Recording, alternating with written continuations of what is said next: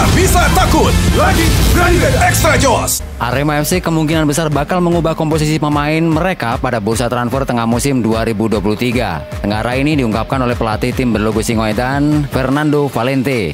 Fernando mengatakan, tentu kami perlu adanya tambahan pemain berkualitas di tim ini. Seperti kita sama-sama tahu, saat ini kita punya banyak pemain muda, namun kami tak punya cukup waktu untuk menyiapkan mereka bermain di level tertinggi. Namun menurut Fernando, timnya tak bisa sembarangan mencari tambahan pemain. Pasalnya, menurut pelatih asal Portugal ini, soal ketersediaan pemain yang dicari juga harus menjadi pertimbangan matang mereka. Fernando menambahkan, pemain-pemain terbaik sudah bergabung dengan tim-tim Liga 1 lainnya. Kami harus benar benar-benar memilih pemain ini dengan bagus sesuai kriteria-kriteria yang ada. Arema FC sendiri secara kasat mata butuh tambahan amunisi baru yang bisa mendongkrak mereka keluar dari zona degradasi. Namun Valenti menegaskan tak mau terlalu banyak berpikir soal daftar belanjanya pada bursa transfer tengah musim 2023 ini. Pelatih berusia 64 tahun ini mengaku masih fokus memungkasi paruh pertama BRI Liga 1 dengan baik. Fernando menambahkan, saya fokus kepada laga berikutnya. Tentu saya sudah berbicara dengan manajemen soal ini. Namun saya katakan kepada mereka bahwa saat ini saya tak peduli yang bakal terjadi ke depannya. Saya fokus ke pertandingan.